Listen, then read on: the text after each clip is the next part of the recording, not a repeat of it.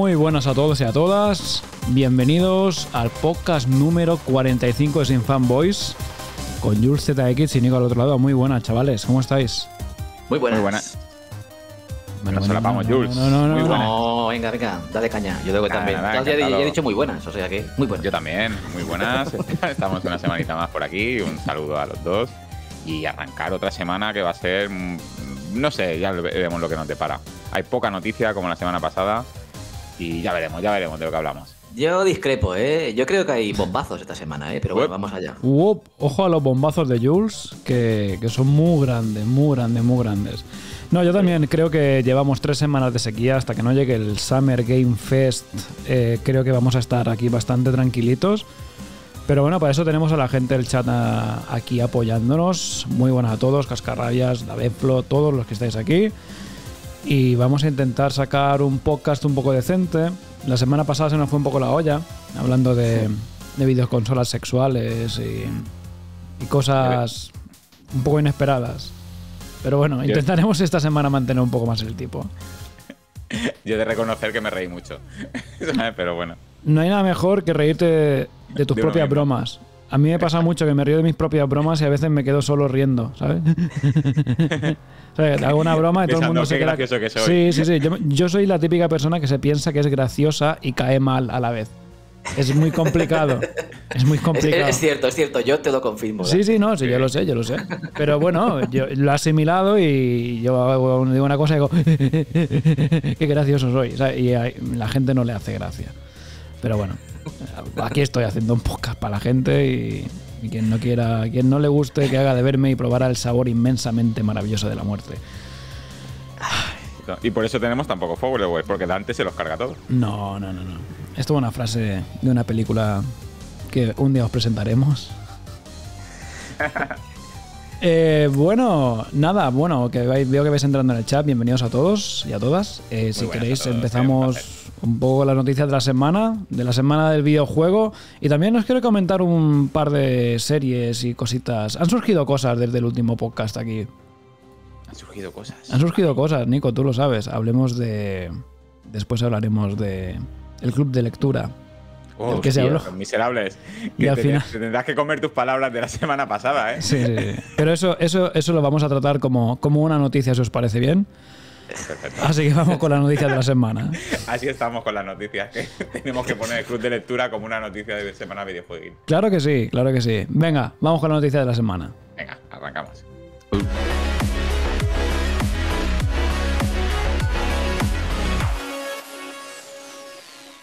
Bueno, bueno, bueno, pues eso. Eh, noticia tranquilita, o sea, semana tranquilita de noticias, como os hemos dicho. Jules dice que hay algunos bombazos. Mm, No discrepo, porque yo creo que podemos empezar con lo que para mí es lo más eh, impactante de la semana para mí, que es el juego nuevo anunciado que se llama Nath, Nathra- ¿cómo es? Nazralat. Nazradas. Nazra, sería, sería Nazralath. Nazralath The Fallen World.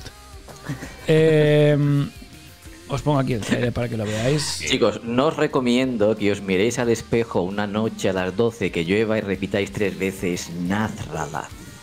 Bueno. Igual pasáis al otro lado. Podría ser. Bueno, anunciado Nazralath The Fallen World. Es un juego de fantasía oscura inspirado, obviamente, Obviamente. como no, por Dark Souls. O sea, ahora todo es Souls, todo es From Software, todo acaba siendo algo así. Bien. Pero bueno, eh, Euciledean, que es el, estudio que está haciendo el juego, son un pequeño estudio de desarrollo y han presentado pues este juego, que es el Nazralath The Fallen World.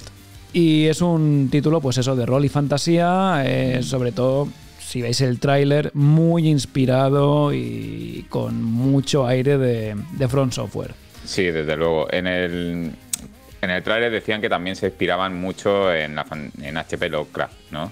Pero es verdad que tú ves el tráiler y dices, hostia, esto es que es Dark Souls, ¿sabes? Es Dark Souls 100%. Sí, En bueno, Lovecraft. 100%. Tiene algunos detallitos como, como muy oníricos, como más tipo Giger, ¿eh? Parece que va a salir un alien en cualquier momento de por ahí. También, Sí. hombre, también tiene Dark Souls, ¿eh? Estos señores ahí delgaduchos como petrificados y la armadura que lleva el tío. Es una mezcla, sí, está inspirado, es un poquillo de, de todo. Estas, estas secuencias como... Parece, parece sacado de, de- de- de los libros de Gaia. No diría de Aliens, porque Aliens hay mucha tecnología, hay muchos tiros, pero, pero este rollito con la tecnología antigua de los... ¿Cómo se llamaban? Los precursores, los proteanos, no, los...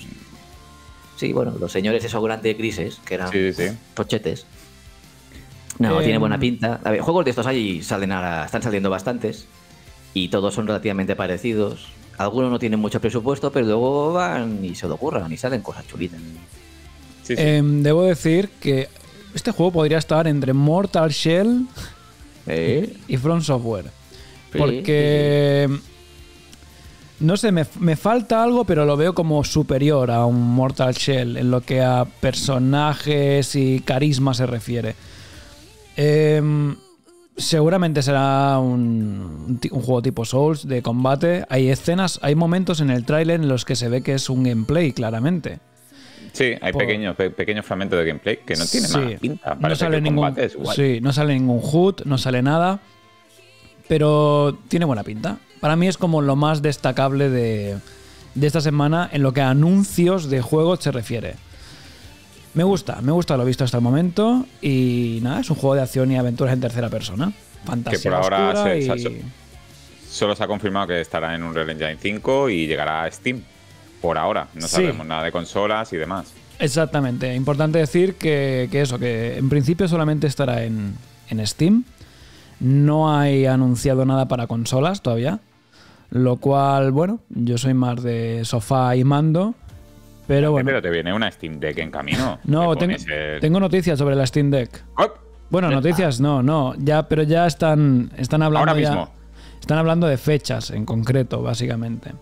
Pero que te envían un, un email con fechas aproximadas. No, cuando vas a ver el proceso de, mm, de compra, cuando vas a tu, a tu cesta, pues te, te pone eh, cuándo está prevista la entrega. Y es octubre or later.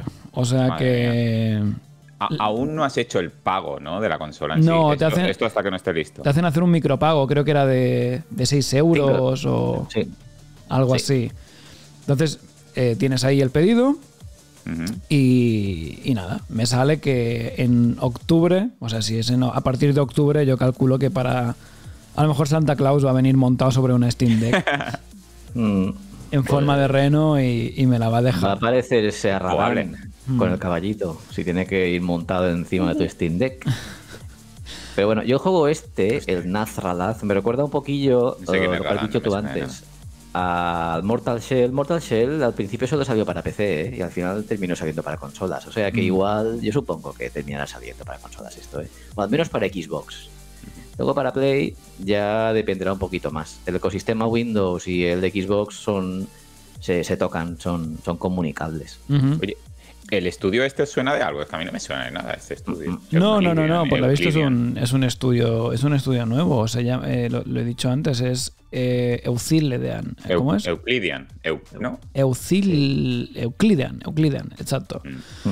Pues voy a mirarlo en un momento, voy a googlearlo rápidamente, a ver qué han hecho esta gente. Eh, uf, qué fuerte, tío. Pongo, pongo el nombre en Google y lo primero que me sale es la noticia de Vandal. O sea que no hay, no tienen ni wiki, ni... Poca cosa. No veo gran cosa. Aquí tienen la- su cuenta de Twitter.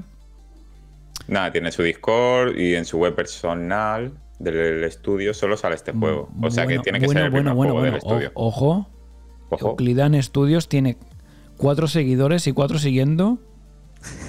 En- No puede, no puede ser la oficial esta tú. no puede ser la oficial, cuatro seguidores, no puede ser. Estamos puede hablando ser. de un juego que solamente tiene cuatro seguidores en, en Twitter. No puede ser, no puede ser. Eh, hostia, no Lo hay- ha sido Elon Musk que se, se los ha cargado. Pues los mira, ahora ya tiene cinco o seis. Venga, ánimo. a lo mejor. Ah, mira, aquí tiene su página web, perdona, me había equivocado. Eh, nada, solamente tienen el- anunciado el juego este. No hay. No. Pues muy bien, le seguiremos la pista, la verdad. Es... Sí. No, no tienen ni nada. Eso, tienen Discord y, y ya está. Eh, Estos son los típicos juegos que ahora los vemos el trailer, muy chulo, tal, y luego pasan tres meses o cuatro y sale un gameplay y decimos, hostia, ¿y este juego de dónde venía? ¿Sabes? Y estamos en. Yo creo que más, ¿eh? Yo creo que más meses. Yo creo que más meses. Yo creo que el año que viene hablaremos otra vez de este juego. Y nos ha pasado muchos juegos en este, en este podcast, de hablar de ellos, de verlos, de ilusionarnos y nunca más se supo, ¿eh? Así que, siguiente noticia. Siguiente noticia. Podemos Cuéntanos, hablar del lanzamiento de cómo ha sido el juego de entre comillas del momento de Nintendo, el Switch Sport, que ha vuelto a salir a la vida después del juego que salió en Wii. Y nada, nos trae, o sea, la- no cambia la temática, vamos. Es, están jugando con seis deportes. Luego, en una actualización gratuita, se agregará el golf, he leído. Y, y nada, a jugar con los mandos, con la familia, con los amigos. Es un juego muy familiar. Es lo que, bueno, lo que se pretende con estos tipos de juegos, ¿no? Que todo el mundo que no sea muy gamer pueda acceder a los, a los videojuegos y disfrutar de una de unas partidas. Yo este Igual juego... el- Continúa, Nico, perdona. No, igual que, que el día que, que nos, queda- nos reunimos y jugamos al juego de preguntas y demás, lo considero un- este tipo de juegos, ¿no? Que son aptos para todos. Sí, yo no lo tengo todavía. Mm, creo que acabará cayendo, porque es el juego perfecto, lo que tú dices, para cuando viene el sobrino, cuando hay una cena con colegas y quieres jugar a algo ¿Sabes lo- de, de acceso fácil. Lo, lo único que me ha pasado con este tipo de juegos con la, con la Switch, que yo he tenido malas, entre comillas, malas experiencias, es que, por ejemplo, con el Mario Kart o un Mario Party, que claro, siempre tenía cargados los dos Joy-Con, pero cuando quería jugar con cuatro, hostia puta, se Sí. me ha olvidado cargarlos, vamos a jugar una partida, no lo tengo cargado, vale, los pones a cargar media horita, juegas una partida como puedes y, y, sabes, y es Siempre pasa. de no. Siempre pasa esto, tienes razón. Es, eh, siempre pasa. A mí me pasaba también cuando queríamos jugar a las VR con el Keep Talking Can Nobody Explodes. Eh, era llegar y claro, eh, hostia, los, los, eh, los. ¿Cómo se llamaban? Los que tenían la bolita de colores de payaso de las VR. Eran. Sí, sí, sí. Los, los micros esos, los pirulís. Sí, Sí. aquí está Daveflo, seguro que sabrá cómo se llamaban, el, el nombre que tenían. Eran como Claro. eh, Me sale Joy-Con, pero no sé. Motion Control, no, no me acuerdo cómo se llamaban. Pero la cuestión es que nunca los tenía cargados, venía gente y era en plan, hostia, vamos a jugar a las VR, pero es que espérate que no lo tengo cargado, ¿sabes?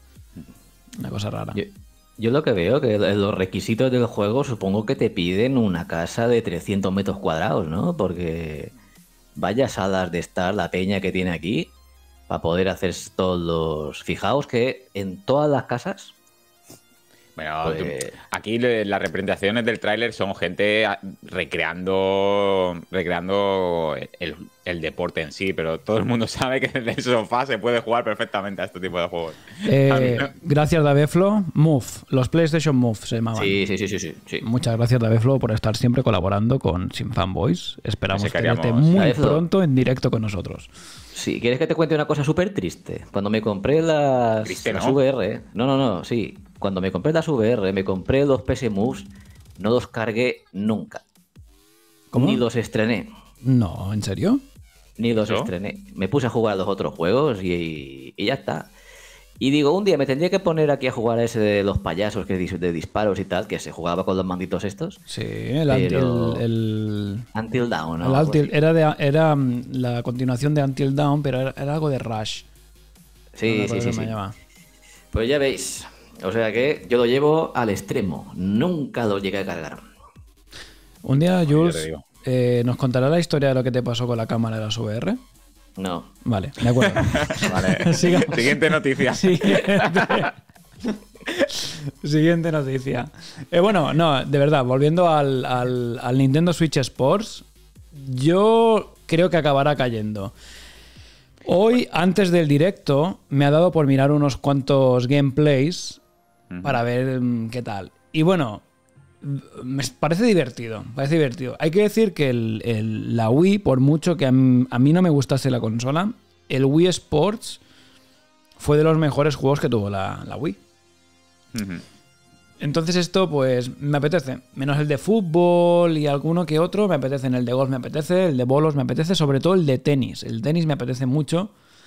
Y eso que tenía el Mario Tenis y lo dejé de jugar y tal y cual. Pero uno de estos que es más variado, más de acción directa, de tener una cenita y jugar, ¿por qué no? Me apetece. De hecho lo podemos comprar a media, Nico.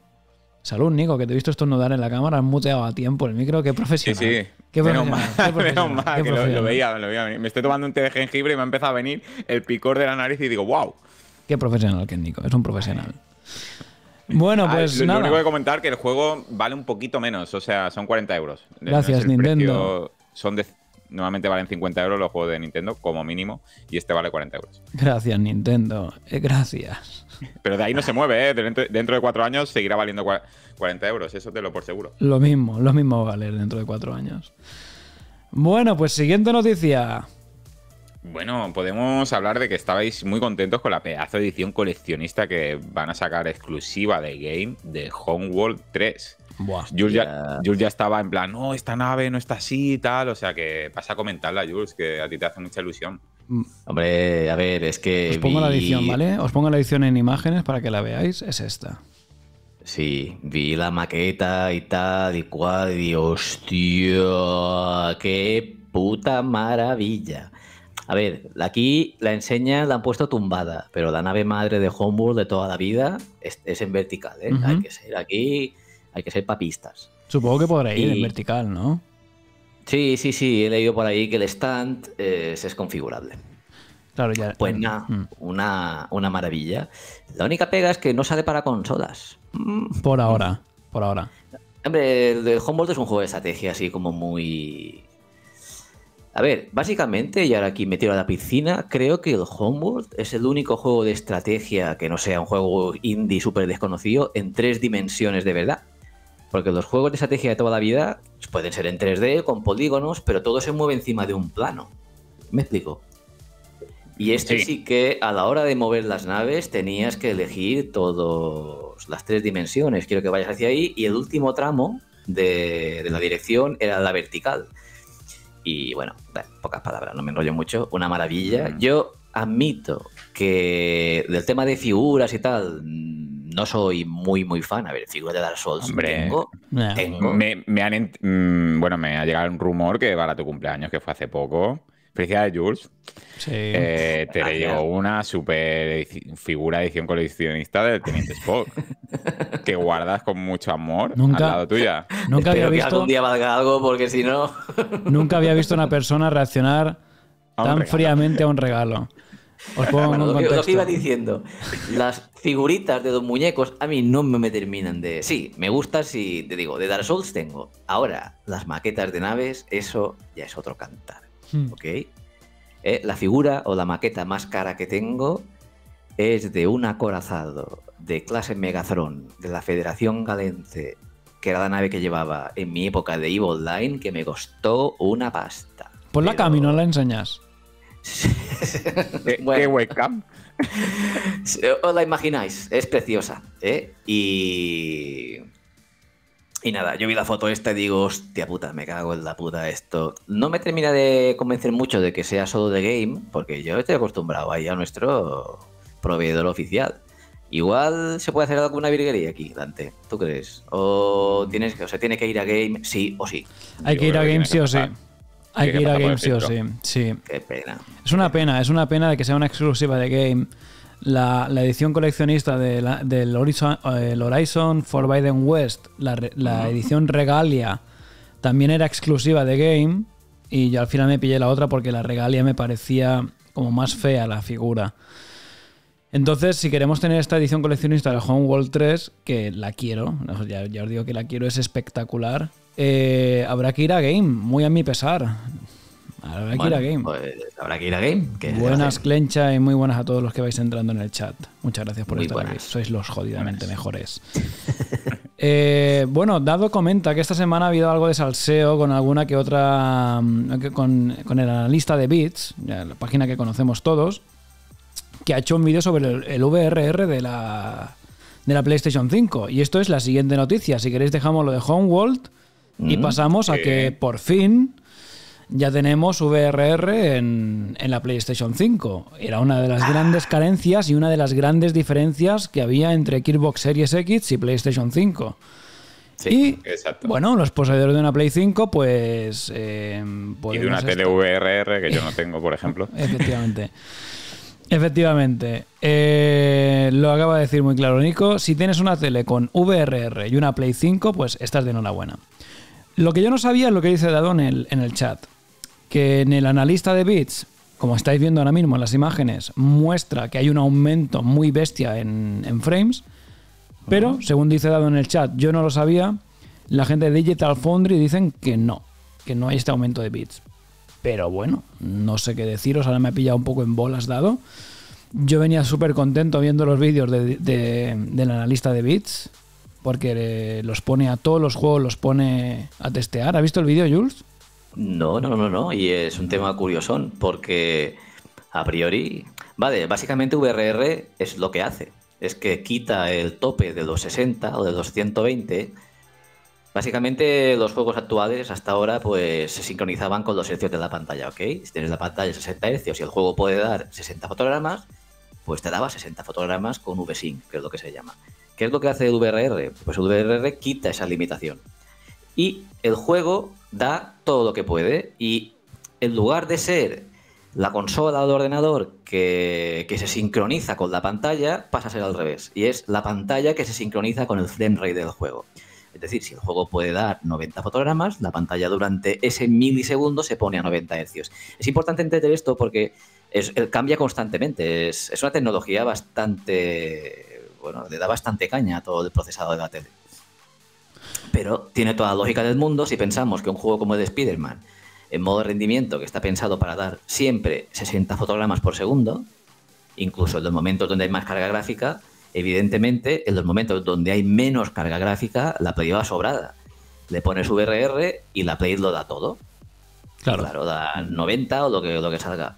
Lo jodido de esto, y aquí es un poquillo el tema que a mí me preocupa un poquillo, y es que, bueno, a ver, igual que la Xbox, y es que cuando activas el VRR, la consola pasa a darlo todo, todo el rato. Y esto, esto es jodido, ¿eh? Porque si el programador del juego, los desarrolladores, no limitan un poquillo el frame rate a decirle, no me des el máximo, dame el máximo menos uno, y la consola da el 100% todo el rato, pero el 100% es todo, todo el rato, ¿eh? Podría ser que, que la clave de esto sea lo que dice Kupurupu. Bienvenido Mm. Kupurupu, por cierto. Eh, que sea precisamente eso, que, dice que parece que el analista ha confundido los hercios con los FPS.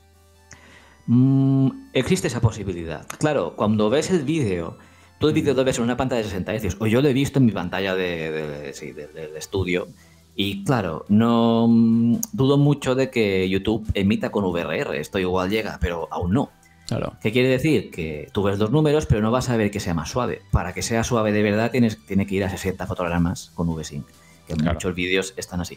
Yo me he fijado, las, las LG nuestras tienen un. Si le das muchas veces al botoncillo verde, te sale un menú, un- la interfaz, que te dice, te muestra el VRR, qué frecuencia, qué fotogramas está dando, ¿ok?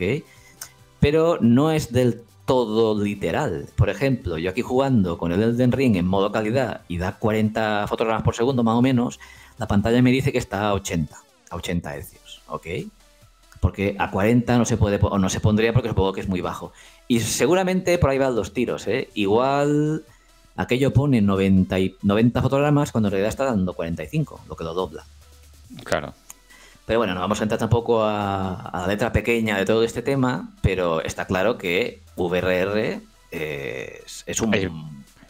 es un salto técnico importante. A mí tampoco no me extrañaría que en, que en momento, que de Spider-Man en modo rendimiento haya momentos que dé 90 fotogramas y eso, porque si da 60 todo, todo el rato, cuando hay mucho Cristo, mucha explosión y mucha hostia, que este es un momento tranquilo, que no haya nada y que no haya unas vistas brutales, que la consola va- da todo lo que puede, es normal que dé más. Igual que la Xbox, ¿eh? el VRR va de esto. Lo que pasa que el VRR, os repito, el, el problema que tiene es que da- la consola da todo, no descansa, ¿eh? Hostia puta, es como irte a correr y hacer un sprint que no termina nunca. Ya. ya, ya. Mm. Yo descono- En yo- verano va a ser, esto va a ser calentito, calentito. Bueno, no será el primer verano con la Xbox Series X, ¿no? ¿O sí? No, no, no. Bueno, yo no sabía que había bebido este, todo este salseo de, de, claro, el vídeo que estamos viendo, claro, es visualmente es muy bestia, ¿no? VRR te marca ciento y pico de frames, sin VRR te marca 60. Pero al margen de toda la polémica que pueda haber entre este análisis que se ha hecho por un lado o por otro, debo decir que es una gran noticia para los poseedores de una Play 5 que llegue la tecnología VRR a, la PlayStation. Ya iba siendo hora que, llegase. De hecho, yo llegué a dudar que pudieran llegar a tenerla. El tema es que las, teles Sony tienen VRR. Es que aquí está el tema del salseo, que es lo que yo creo. Han tardado muchísimo en habilitar el VRR en, el firmware de la, no, en el firmware de las teles Sony. Y el concepto está en que quizá la consola lo tiene disponible, pero si las teles de Sony no lo tienen, ¿qué propaganda haces? Porque el, el, dúo de tele Sony y PlayStation 5 es goloso. Claro. ¿Y, qué haces? ¿Te compras una Samsung? ¿Te compras una LG? Es un poco patético. Y supongo que igual todas las pruebas técnicas importantes en casa Sony se hacen con teles Sony. O sea que probablemente, no he terminado, pero lo que quiere decir es que ya hay modelos de gama alta de Sony que ya usan VRR. Probablemente. ¿Ok? Claro. Ay, el dragón del, del, pantano del Den Ring. Oye, una cosa. No me, suena, no me, suena, para nada ese juego. ¿Qué juego era? una cosa importante que están diciendo aquí en el chat es que es una cosa que hemos hablado nosotros también muchas veces. Y es que, claro, estamos viendo aquí vídeos que nos marcan VRR on con 100, frames, lo que sea y tal y cual, pero es que es lo que tú dices, no somos ni conscientes si YouTube es capaz de reproducir esta tasa de fotogramas y tal. Estas son cosas que hasta que no tienes el hardware en casa y lo pruebas con tú mismo, no es muy complicado ver el cambio. Es muy complicado ver el cambio. A no ser que estemos hablando de que un juego te pasa de ir de 40 a 50 frames a 60 constantes. Cuando ya pasamos los 60 frames en YouTube, es difícil de, poder, de poder ver, ¿no? Digo yo. Es que este es el problema o la gracia de VRR en general. Y es que cuando estás jugando a un juego normal con V-Sync, con una pantalla de 60 Hz de toda la vida, y el juego no puede dar 60 fotogramas, pues automáticamente pasará a 30, ¿ok? Durante los instantes en que no pueda. Esto en consola por lo general ya se ve poco, pero en PC es lo más normal del mundo. El juego va súper fino y de repente, hostia puta, algo ha entrado en pantalla, puff, y se pone a 30 frames y rasca. Y lo que nos damos cuenta precisamente es de ese cambio tan bestia, de entre 60 y 30 fotogramas por segundo. Hay gente que, dice que no, que no nota la diferencia. Digo, hostia puta, pues hazte mirar, chaval, porque no, no se nota ni nada. Yo lo ¿Qué nos trae el VRR? El VRR nos trae que si el juego va a 57 fotogramas, la tele se pone a 57 Hz o, o 57 por 2, 57 por 2, y si en el siguiente fotograma se pone a 58, pues es la tele que hace el cambio y tú no notas la diferencia entre 57 fotogramas por segundo y 58 fotogramas por segundo. ¿Y cuál es también un aspecto que la gente no suele tener en cuenta? Y es que cuando miras los fotogramas por separado, de un fotograma 1 al, siguiente fotograma hay muy poca diferencia, no va a haber un cambio brutal de FPS. Porque la imagen ha cambiado muy poquito y se supone que la carga gráfica es prácticamente la misma, diferente seguramente. Eso quiere decir que VRR te da una super suavidad de imagen. ¿ok? No hace que dé más frames, igual sí, en un caso específico, pero lo que te trae a la mesa es que el juego va fino, filipino todo el rato. Tú notarás que hay momentos en que va, se nota que va más sobrado y hay momentos en que la suavidad no es la misma que antes, pero, mm, pero nunca habrá ese salto de 60 a 30. Ese rascar, eso pasará a la historia. ¿El rascar se va a acabar? El rascar se va a acabar, pero eso tiene también otra lectura. Y es que si los juegos porque para los diseñadores, para los programadores, desarrolladores, VRR está de putísima madre, ya no hay que optimizar. ¿Por qué? El juego que de lo que pueda y lo pudimos un poquillo, era un poco más rápido, pero ya no rascan los juegos. A no ser que tengas una tele antigua. Si tienes una tele antigua, De aquí a que todo el mundo tenga la tele con VRR, van a pasar muchos años. Van a pasar, es lo que iba a decir ahora, porque la gente aún no se ha implementado en teles 4K. ¿Sabes? Ahora pasa la verdad es que yo no lo veo así, ¿eh? Yo creo que el VRR, al ser una característica de HDMI que no tiene que ver con el panel en sí, sino más con el, con el procesador de la tele, mm, esto ya va a ser, yo creo que van a entrar a, muerte con esto. También hay una cosa cierta y es que el consorcio de HDMI son unos hijos de la gran perrilla, con perdón. Y todo lo que es HDMI 2.1 es opcional. Es decir, tú basta que tengas una característica en tu tele de HDMI 2.1 y ya puedes meter el logo, como si fuera Full Equip. Esto es una guarrería importante, ¿eh? Pero bueno, poco a poco irán, irán entrando. Yo lo veo un gran avance. Había un fenómeno por no sé qué chat en qué página que decía, es como si Sony hubiera sacado la Play 6. Y Bueno, digo, Bueno, ese en algunos aspectos, no quiero decir que, Bueno, que bueno, doble el rendimiento, pero Bueno. podría ser. Bueno, bueno, Podría bueno, ser. la Play 6, hombre. No hemos llegado. Si ese sigue siendo el mismo juego de fondo. No hay juegos Sí, de Unreal no. Engine 5 aún ahí corriendo a tope. Ya. En fin, bienvenido sea el VRR a PlayStation 5. Siguiente noticia. Toma ya. Bueno, hay varias noticias de, de Sony, en realidad. Podemos no movernos mucho del tema, porque también ha habido bastante follón esta semana, porque muchísima gente estaba acumulando suscripción a PlayStation Plus nuevo. Puñeteros. Y claro, Ay, como iban a hacer el upgrade a la nueva versión, pues dice, bueno, acumulamos aquí tres años de PlayStation Plus con el precio de ahora, luego me harán el, el upgrade y tendré el nuevo servicio con un precio muchísimo más barato. ¿Os acordáis, Y no? nada, y PlayStation, o sea, lo ha capado, Sony lo ha capado ya. Ya. Pero esto la Xbox se El hizo. equipo- Sí, Se y se puede seguir haciendo, ¿eh? pero un poco de Sparrow Edition. Bueno, no, no es piratear en sí, es comprar No, en otros es- bazares, acumular. Luego había una oferta de que te, te subían a Ultimate por La- un euro. Esto es la si tenías, picaresca. si tenías acumulado tres años, pues te subía tres años de Ultimate. Por, creo que te gastabas 80 euros y tenías Game Pass Ultimate por tre- durante tres años o algo así. Esto es la, Yo me la picaresca, que hay la gente- picaresca. Perdona, Dante, me consta que hay gente aquí en el chat que lo ha hecho. Yo sé quiénes sois. Somos controlados. Somos pocos y os tenemos controlados. Somos la policía del, del, del- del- del PlayStation Plus. sí. Hemos sido nosotros que hemos llamado a Sony y le hemos dicho, oye, aquí hay... Que se, que se está colando. yo, yo no sé Hostia, por cierto, y a ver, Nico, y si da Dime. cupón, pon que tengas comprado un año de PS Plus, ¿ok? ¿Qué pasa cuando entre el nuevo servicio? ¿Tienes que volverlo a pagar? ¿Cómo? No, te lo cobrarán al nuevo precio, supongo. Bueno, esa es una buena pregunta. ¿Te ¿Pueden cobrarte Sí. un precio distinto al que estabas pagando? Tendrás que... O sea, la, renovación automática se debe parar. Se reparará renovación. Sí, se parará la renovación, ¿no? Bueno. Pero si ya la tienes activada al año, no, no. A ver, es que no- yo debo confesar que nosotros el PlayStation Plus lo hemos tenido activado muy en contadas ocasiones. No, no es como el Game Pass que lo tenemos ahí activado siempre y Game Pass para arriba, para abajo. El PlayStation Plus, pues ahora cuando salga sí que lo vamos, yo lo voy a activar, desde luego, para el, el Returnal y alguna que otra cosa y probarlo un poco y navegar y mirar. Pero hasta el momento yo el PlayStation Plus básicamente me lo he puesto para cuando quería jugar online con el Air Defense, que luego hablaremos de ello. Mm. Y poca cosa más, ¿eh? Yo no, no he sido un gran usuario de PlayStation Plus. Hombre, Ya.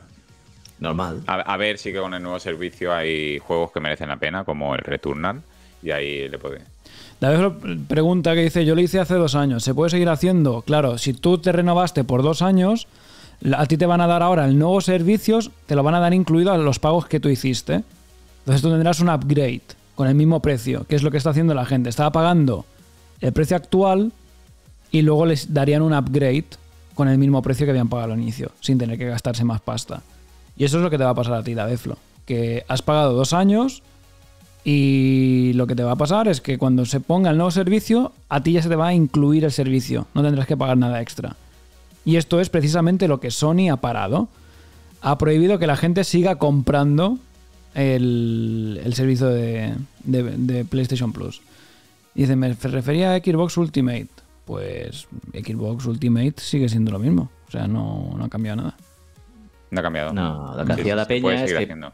es que pagaba el Gold, un, un par de años de Gold, y luego te hacían el upgrade a. Sí, Sí, a- porque había una oferta de subir a Ultimate por un euro. Sí, Sí. ¿sabes? sí, sí, sí. Era, Era eso. por eso. Eso es lo que hizo el pillastre de Dado, segura.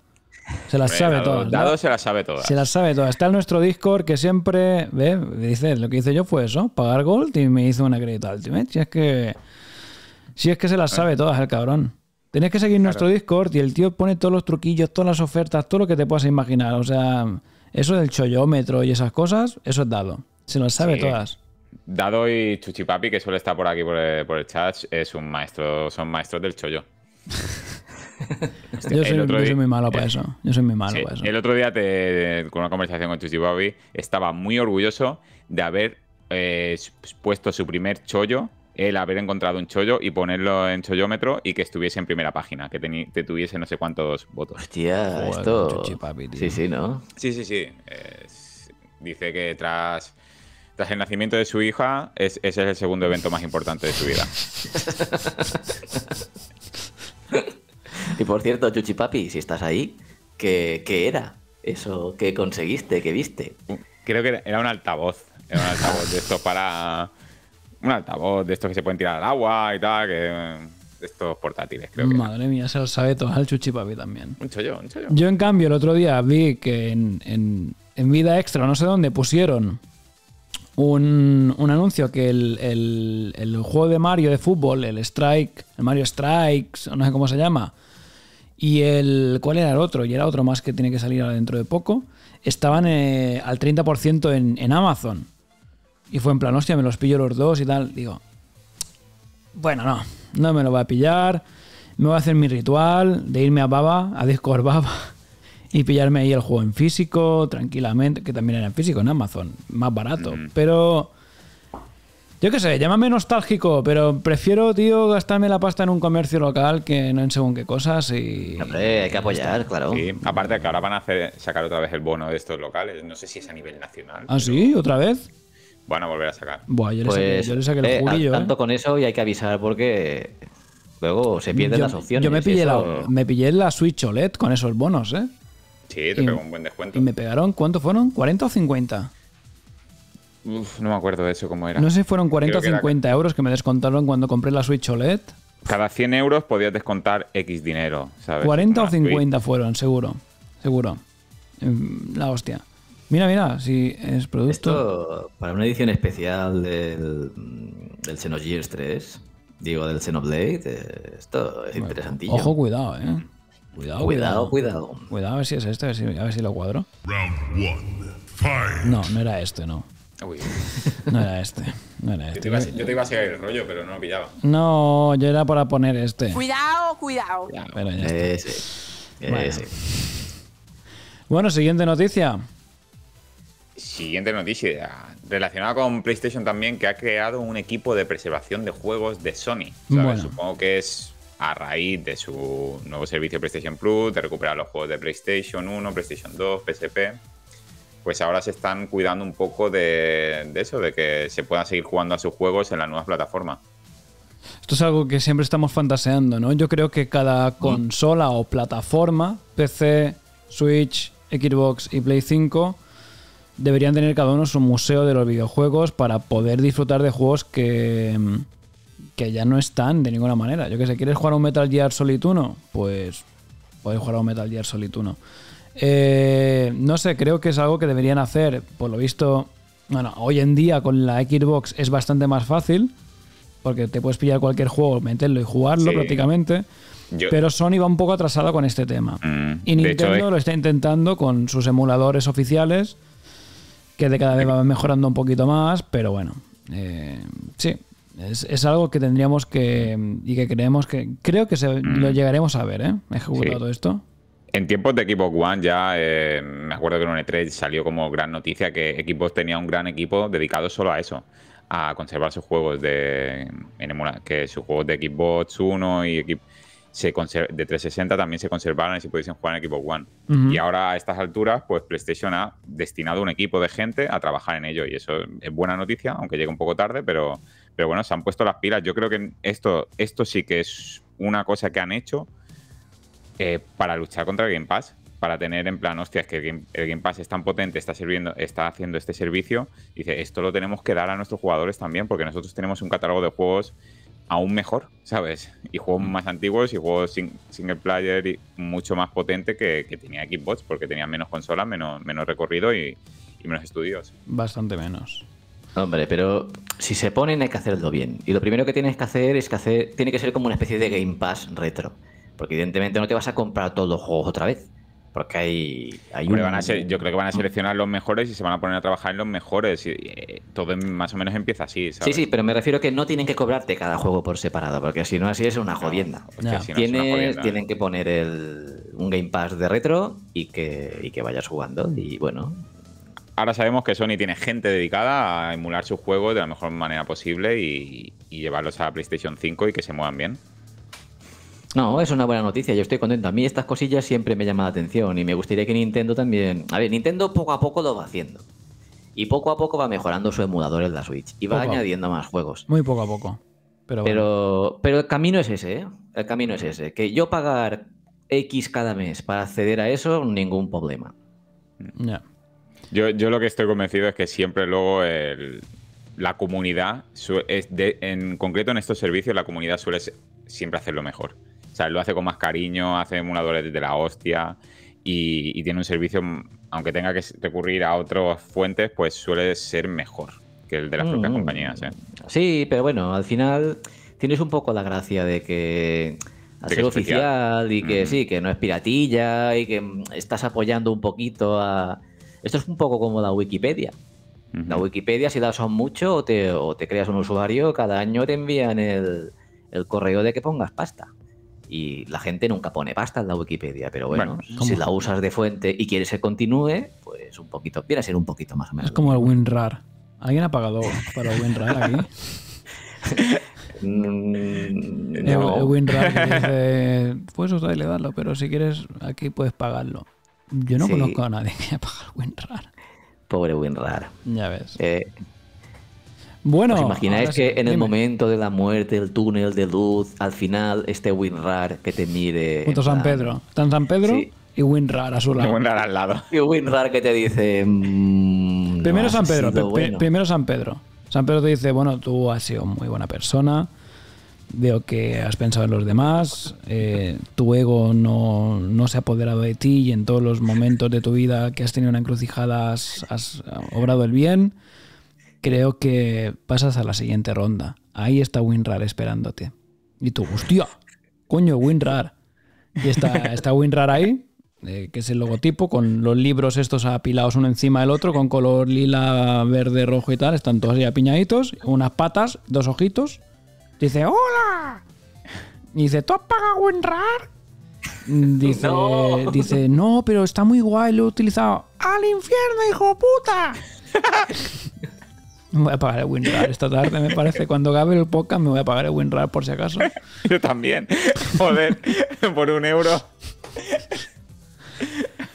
Siguiente noticia, por favor. Bueno, chicos, la conclusión es que paguéis el WinRAR. bueno, eh, otra vez, ah, podemos abordar un poco el tema de Square Enix, si quieres, Jules, que también estabas como caliente.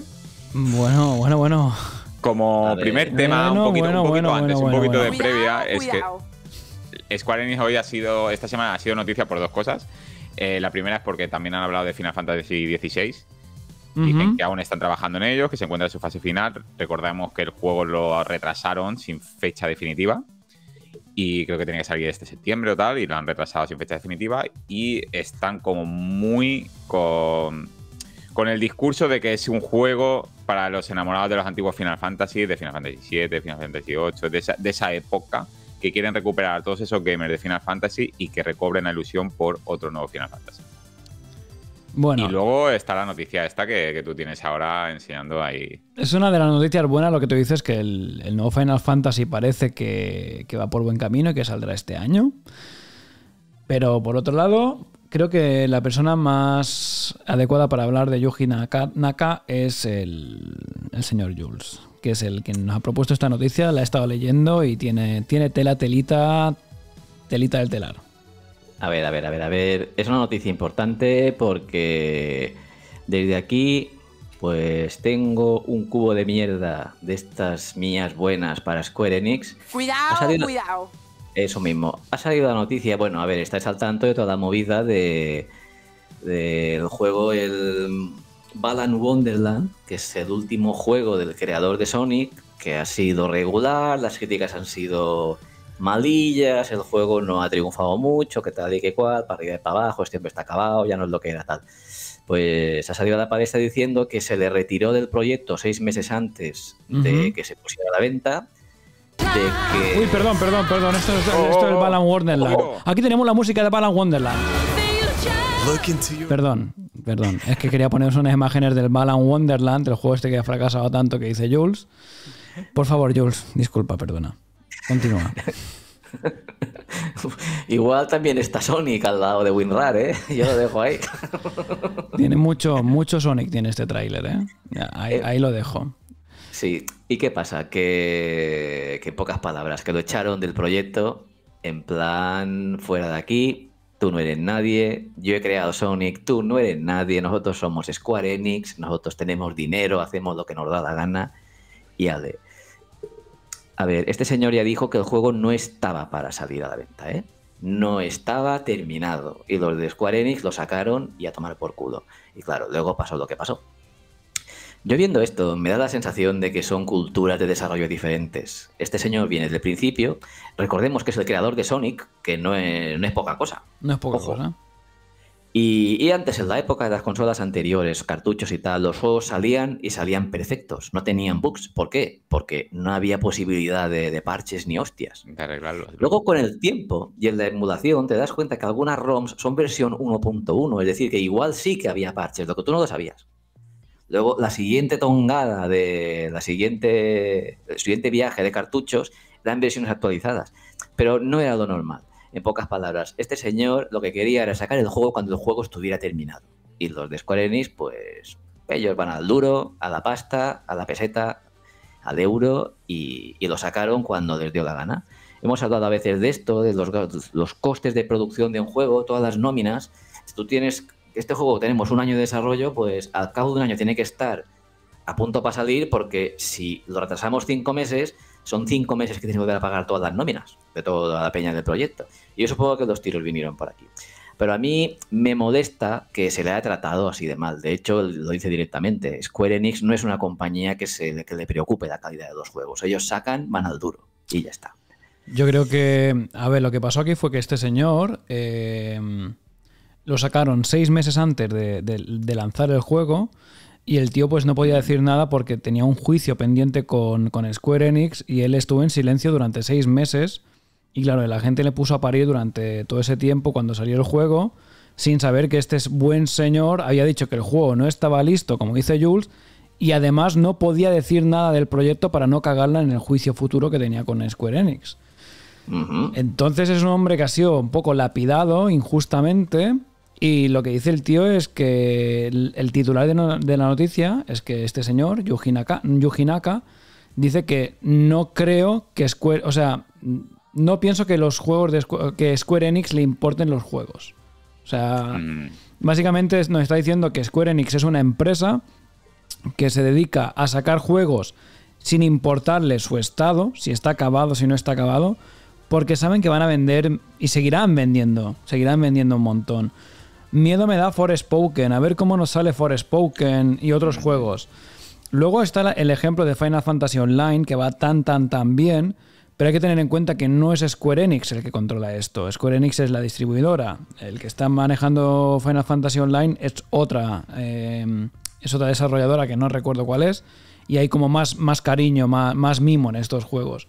Cambio Square Enix se está transformando en eso, en, en- bueno, se está transformando, no, es una empresa que lo que mira es, de hacer dinero y si tú a un tío que no juega que no juega videojuegos le vas a decir, oye, que el producto es que no está bien, ¿qué más da? Si total son unos fricazos que compran mi producto, sácate esto ya y vamos a hacer billetes. Me da igual, ¿sabes? Sí, sí, hay otro caso de esta semana, lo que pasa es que no pusimos la noticia. El creador de Final Fantasy se puso las manos en la cabeza y les dijo a los de Square, tíos, ¿de qué vais? Porque Squaresoft ha sacado una estatuilla de Final Fantasy de 12.000 dólares. ¿Lo habéis leído esto? No. 12.000 No, no. dólares vale la figurilla de Final Fantasy, de Final Fantasy VI. ¿Cuál? Y El 6. El 6. Y, y el creador sale en plan, se os va la olla. Pero claro, Square Enix va a tope, ¿eh? ellos van a la pasta. Y si habéis escuchado el- un poco el discurso de su presidente, los juegos ya empiezan a ser un poquito lo de menos. Aquí el dinero, el dinero ya sea de un costado, de un lado o de otro, a tope. Y Sí, es lo que muchas veces te digo, Jules, que sé que a veces tenemos conflictos en eso, es que la industria del videojuego ha crecido tanto y maneja tanto dinero hoy en día que, que las compañías pues pierden mucha su esencia muchas veces y se van a por el dinero. Que ahora Sí. es... Tenemos aquí a Clencha que se va a currar. Todos los ánimos, Clencha. Un beso muy grande, gracias por estar aquí. Te vemos la No te que preocupes, que, mañana tendrás listo el podcast para en todas las plataformas que, que- la plataforma que quieras para En YouTube, él lo dice, él lo dice. Me tengo que ir a currar, os termino esta semana en YouTube. Claro que sí, Clencha. Perfecto. Muy bien. Que empieza la temporada de verano y empieza el curro. A tope, Clencha, ánimos. Continuemos, No sé, lo que decías. Sí, a ver, yo me imagino, ¿os imagináis en una realidad alternativa en que no fue Sega la que se fue a tomar por culo, sino que fuera Nintendo? Y que ahora en pleno 2022 Miyamoto hubiera hecho un juego para Square Enix. Es lo mismo. Lo, hubiera- lo hubieran sacado fuera seis meses antes y ahora estuviera saliendo Miyamoto en plan... mm, El juego estaba sin terminar. Es que para mí, para, bajo mi punto de vista, joder, Sonic y Mario eran, eran los dos reyes. O Ahí sea que- que... Sí, ahí ve, ya está. Es decir, es este sí, símil que acabas de hacer, Jules, creo que es, es lo mismo. Es como si ahora, en lugar de tener a. Os pongo la imagen otra vez. En lugar de tener a- al señor Yuji Naka con este dron F- FPV que tiene aquí, eh, tuviésemos a Miyamoto, podríamos estar hablando de lo mismo. Es decir, en una realidad paralela, en una realidad alternativa, ¿Dónde ganó Sony? donde ganó Sony. eh, no, Sony no, Sonic, Sega. Sonic. Sega, Sega, Sega, Sega. Donde ganó Sega. Eh, podríamos estar hablando de eso, de que Miyamoto, pues que le han echado y que no le han querido y que le han dicho que tal y está ahí quejándose el tío. Es, es triste, es triste. La industria está pillando un tinte que las grandes empresas, como dice Jules, cuando entra la pasta se va la magia y en la que al final tenemos que apoyarnos un poco en, en los desarrolladores que lo hacen con amor, los indies, y creo que seguiremos teniendo buenas cosas gracias a eso. Pero miedo me da, por ejemplo, Forspoken, ¿eh? Cuidadito. Tiene buena pinta todo lo visto, ¿eh? Ya veremos, ya veremos. Sí, ver, no, no, yo- claro, claro, claro que sí, pero cuando ves estas praxis de las grandes compañías, Cuidado, ¿eh? Cuidadito, que... Cuidadito. cuidadito. Yo creo que lo- también las grandes compañías pues habrá niveles de juegos que hacen, o sea, niveles para en plan, venga, esto es a vender a saco, vamos a sacar juegos como churros y luego tienen como sus... Yo creo que los tíos lo que hacen es lanzamos el juego, lanzamos el juego. Si el juego no entra muy muy bien, lo abandonamos directamente. Si el juego entra un poquito bien, trabajamos en ello y lo arreglamos un poco. Porque este que estamos viendo ahora, que os he puesto aquí el musicote sin querer, que era el, el Balan. Wonderland, eh, el Balan yo este juego ni lo había oído, o sea, ni lo había oído comentar, si os digo la Está, de- verdad. está ¿eh? de ofertilla ahora, ¿eh? La semana dorada esta de Xbox. Igual ahora al cerrar le doy. Estaba por 10 euros, creo. Una cosa. Ah, que también ha salido para, para Xbox este. Claro, claro. Mm. Pensaba que eso sería para, para la Nintendo Switch. No sé, bueno, Square Enix, eh, cuidadito, cuidadito con lo que haces. Y además hay que decir que Square Enix sí que sigue siendo, o sea, la oficina central está en Tokio, o sea, los Sí, ahora, es japonesa. A ver, y de hecho, no mucho. voy a darles mucha, mucha mierda. Les he enviado un, un cubo de mierda, pero bueno, así en plan, ojo. No, Cuidado que tengo más. Sí, no, no, no, no es como Ubisoft. Hostia puta, Ubisoft sí que allí le enviamos los, los, los barcos industriales estos, los tanques llenos de mierda. Pero Square Enix nos ha dado muchas alegrías, ¿eh? No, no lo voy a lapidar tan pronto. Ahora bien, no me gusta lo que veo. Ojo, os vigilo, Square Enix. Ya. Ya está. Estoy leyendo lo que ha puesto dado en el chat. que es Sí, yo también estoy leyendo lo que había puesto dado en el chat, diciendo que lo que yo no entiendo, los escándalos que hemos tenido en los últimos tres años, de las supercompañías creadoras de videojuegos que manejan presupuestos multimillonarios para juegos que venden y dan muchísimo dinero. Y cogían estas empresas y contrataban a becarios, haciendo crunch, etcétera, en vez de contratar diseñadores senior y hacer el juego bien y sin bugs. Esto es un juego que cuesta hacer más de 30 o 50 millones de euros, no lo entiendo. Porque con los presupuestos que manejan, Ya, eso es un poco incomprensible. Es como el cine también. Es que es, es como el cine y todas las industrias. Es decir, hay mucha gente que hace cine independiente o directores eh, aficionados y todo eso que si tú le dieras eh, 500 mil dólares, te montaban un pollo que alucinas. Y en cambio tú ves según qué películas que el- una película de bajo presupuesto, estamos hablando de una película de un millón de dólares. Eso es bajo presupuesto, ¿sabes? Y lo mismo con los videojuegos. Hay juegos que los ha hecho un grupo de cinco personas con colaboradores y son espectaculares. Y luego ves unas superproducciones, como dice Dado, de, eso, de- de 30, 50 millones, que no lo puedes entender. Dices, no entiendo dónde se ha ido el dinero, dónde tal. Y yo me remito otra vez a lo que dice Jules, cuando entra la pasta se va la magia. Y es así, es decir, cuando manejas una- un, gran conglomerado de, de- de- de- industria, de, de secciones, de departamentos y tal, para hacer que todo el mundo... No es lo mismo estar cinco personas en un garaje, en una casa, haciendo un juego con pasión y con y que todo el mundo sabe lo que está haciendo el otro y, y- y cuál es el objetivo y cuál es la finalidad de trabajar por algo que un departamento en el que un tío está haciendo texturas y a lo mejor, a lo mejor, el tío no sabe ni para qué son esas texturas, ¿sabes? Ya han dicho, tienes que hacer texturas de ladrillo. Bueno, pues hago texturas de ladrillo aquí, no sé qué, no, lo que sea. Yo creo que es, yo creo que es ahí donde está el, el problema. Y por eso siempre hemos tenido mucha fe en, en- en- en estudios como, yo que sé, como BioWare, como CD Projekt, que la ha acabado cagando. Porque se ha, precisamente por eso, porque se ha hecho muy grande y ha intentado intentar gustar a todo el mundo. Nada. Es eso, es sencillamente eso, creo yo. Sí, a mí me gusta siempre recordar eso, que también la industria ha crecido mucho. Antes los gamers estaban como, eran como una personas un poco como frikis, o los video- no, no todo el mundo jugaba a los videojuegos y tal, y a los videojuegos están en todos lados, están en todos los lados y con el móvil se ha vuelto muchísimo más accesible, está mucho mejor visto también jugar a videojuegos y eh, es una industria que ha crecido muchísimo. Pero hay algunos detalles que son un poco feos, porque el momento en que entra la pasta, entra la cultura del CEO, entra la, la cultura de los ejecutivos estrella que ganan millones, entra el rollo Kotick, para que nos entendamos. Claro. Un detalle, por ejemplo, esta semana que me ha dejado frío, en plan, y ahora este tonto porque sale. El Reggie Films, el que era el ejecutivo principal de Nintendo en América. Sí, que se Todo el parecía, mundo se que se parecía a Donkey Kong. Sí, pues ahora sale de la nada para decir que él le gusta, que ve con buenos ojos el blockchain en los videojuegos. Digo, sales de debajo de tu piedra para decir esto. Ya. Pues venga, vete otra vez, otra vez para abajo, para la piedra. Es un poco triste. Esta gente, este señor, antes de trabajar en Nintendo, trabajaba en la Coca-Cola. Era ejecutivo en la Coca-Cola. Este señor de videojuegos sale allí y habla un poquillo, pero este, este es lo que le va en la pasta. Son empresarios. es lo que me- Sí. sí, Claro. que es el mismo presidente de Squaresoft que de juegos, los juegos se la sudan, él lo que quiere es ganar dinero y vender. Que si vendiera zapatos o vendiera escobillas de baño, a él le da igual. Por eso lo he dicho, que es eso, es que hay que sacar un juego. No, señor, es que el juego no está listo. ¿Cómo no va a estar listo? Saca el juego ya, me cago en la puta. Y hay que empezar a meter billetes.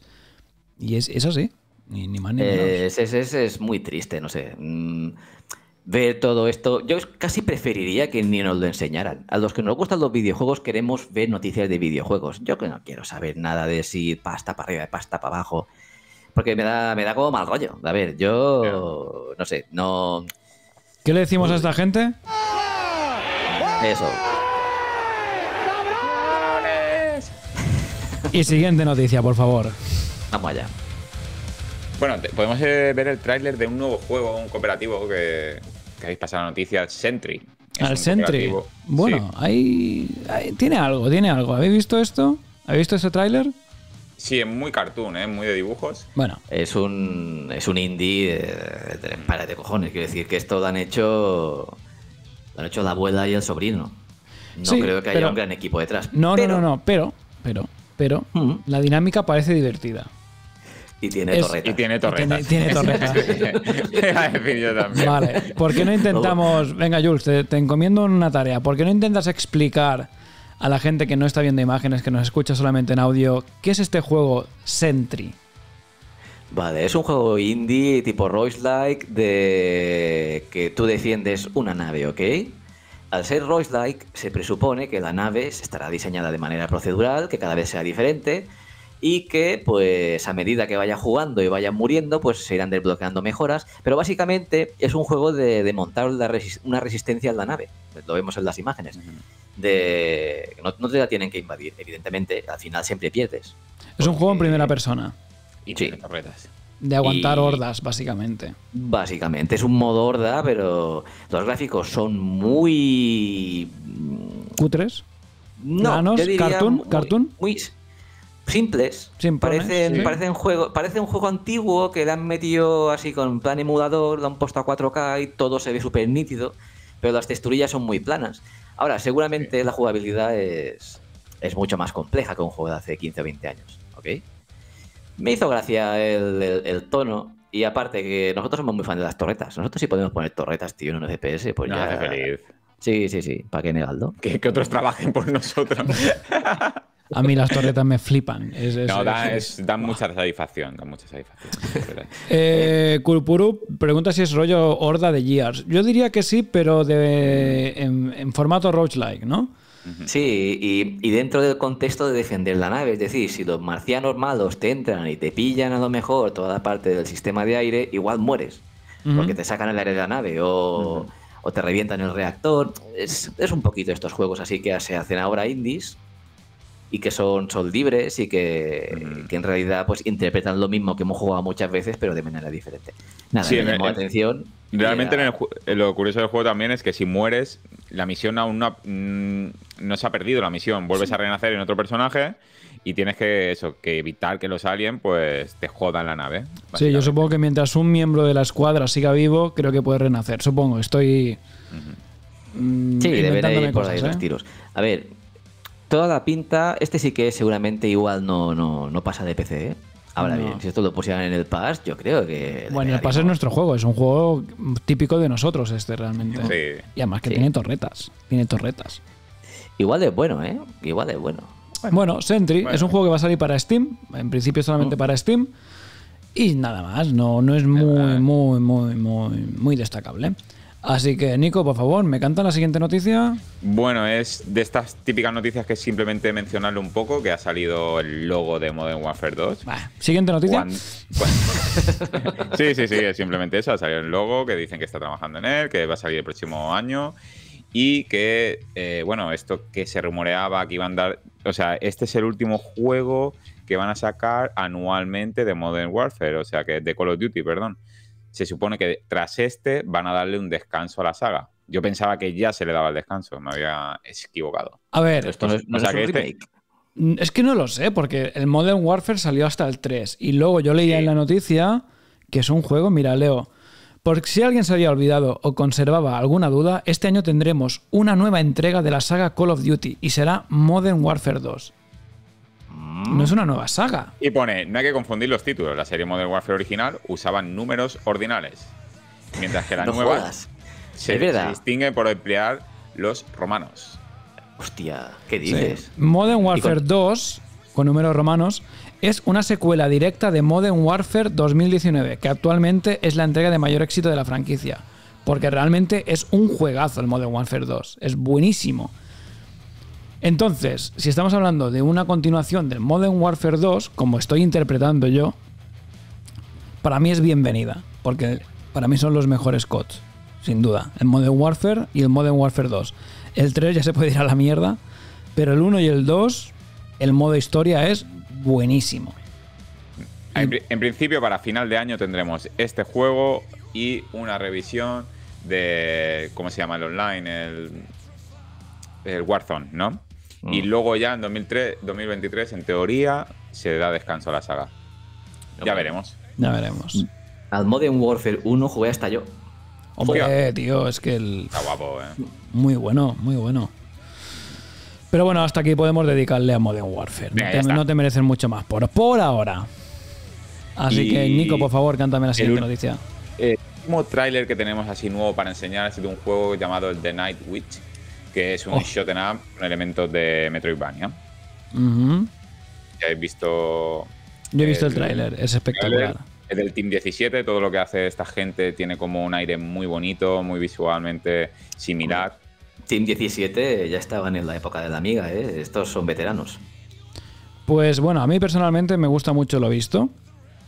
Eh, ¿Cómo podríamos explicar? No olvidemos que hay gente que no está viendo los vídeos. Eh, es un juego en 2D, de vista 2D, tipo Hollow Knight, Mario, como le queráis llamar. Y tu personajillo, en lugar de ir mm, sobre la gravedad flotando y tal, es un personajillo, es un mago, pero va volando tipo como si fuese una nave del R-Type o del Puyo Puyo. Claro, O- recuerda o- mucho o a esos así. juegos de naves. Es Sí. que realmente es un juego de naves, pero que eres un brujo, pero. Pero no va, no, la pantalla no va avanzando hacia adelante. Tú vas libre por la pantalla volando. Y creo que va con un sistema de mazos de cartas, tiene un sistema de configuración de, de combate y de armas muy, muy grande. Y gráficamente Me voy, a tirar, historia, me, voy a además. tirar, me voy a tirar un. Está entre un, un Ori y un Hollow Knight. No sé. Bueno. Los gráficos. Es algo así. Es raro, sí, sí, es raro, porque no hay muchos juegos en que tengas el control total, que puedas volar. Eh, de la plataforma pues saltas o te cuelgas o hay látigos y ahí o te puedes enganchar o hay historias, pero que vueles, vueles todo el rato y que no se gaste eh, es, es relativamente raro, pero tiene muy buena pinta. Tiene muy buena pinta, es un juego diferente que aúna muchas mecánicas de otros juegos y que le da, siendo cosas muy antiguas, parece muy fresco el juego, porque ahora ya no se hacen este tipo de juegos así. Yo veo esto y me apetece jugar. Claro, me Sí, apetece echar unas sí. partidas con los colegas, es el tipo de juego que mm, apetece. Reunirte en una casa y, y- y seguro que tiene cooperativo, porque este juego tiene que tener cooperativo, seguro. Mm, yo no lo sé, pero que todo el mundo lo podrá jugar seguro, porque es multi. Sale para Mm. Switch, PC, eh, PlayStation y Xbox. Así que este sí que no hay excusa para, para, para no jugarlo. Eh, a mí me llama la atención, la verdad. Es, es muy recomendable que si os gustan los juegos así en 2D, tipo Hollow Knight o Castlevania o Blasphemous, yo qué sé, lo que sea, Metroid, Sí, sí. veáis este, este tráiler porque es guay. Gráficamente me gusta. Seguro que, que con la descripción que hemos hecho no nos hemos acercado a lo, a- a lo que es el juego, porque cuando lo veáis os va a sorprender. Sí, sí, es un Yo juego lo 2D, único que les pido a, bueno, a los creadores de este tipo de juegos actuales es que se acuerden de los 120 hercios. Que es una chorradilla aplicar esto, ¿eh? Que no, es, no hay que reinventar la rueda. Y hay una gran diferencia si tienes una pantalla compatible. No. El- la suavidad, porque los juegos 3D en que giras la cámara y tal, el refresco, es raro que notes, que notes el rastro, el, eh, sí, que no se vea bien o tal. Pero en los juegos 2D en que el scroll se arrastra, 120 hercios, hostia, anda que no se ve bien el Ori o el Hollow Knight en Xbox a 120 hercios. Fino filipino, casi casi como un CRT. El scroll y el parallax le, le sientan divinos de la muerte. Yes, divino de la muerte. Bueno, ¿Y por qué ya- digo esto? Porque luego ya, cuando comentando lo que hemos jugado, pues... Tengo curiosidad, juego- lo he visto. De hecho, si queréis pasamos directamente a lo que hemos jugado. Ya No, no, no, no, no, no, no, no, ¿Qué no, hay? no, no, Queda una última. Me, me he equivocado, me he equivocado. Ojo, que ojo, faltaba ojo. un último tráiler muy potente. Bueno, que de hecho, bueno. chicos, Espera, espera, que esto es un megatón, ¿eh? Hombre. Esto es un megatón, pero, pero, pero un megatón de, de- de- de- de- de- de máxima categoría, ¿sabes? Es, el es, es- para mí es. Yo antes he dicho que la sorpresa de la semana había sido tal. Bueno, me estoy flipando un poco porque realmente no es la sorpresa de la semana. Bueno, El para nosotros sí, para nosotros sí. Sí, para nosotros sí. Bueno, ha salido el tráiler, os lo voy a poner aquí. ¿Dónde, dónde lo tengo? Estaba por aquí. Bueno, aquí está.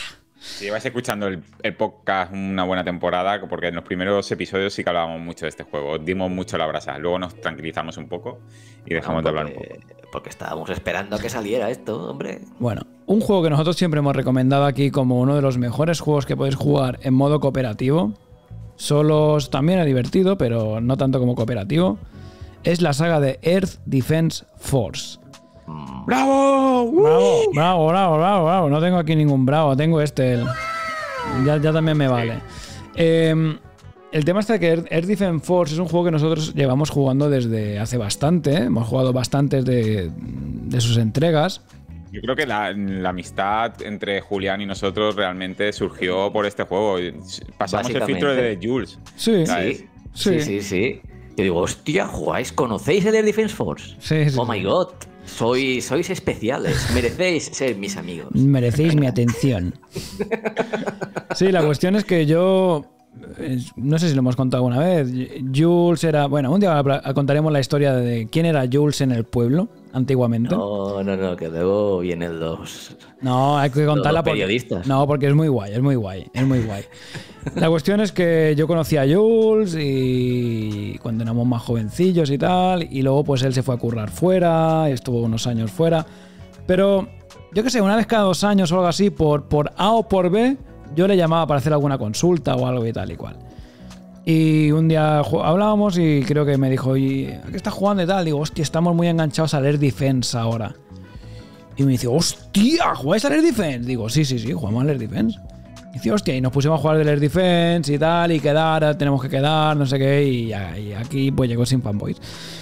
El tema está en que Air Defense Force es un juego eh, en tercera persona, japonés, es una japonesada.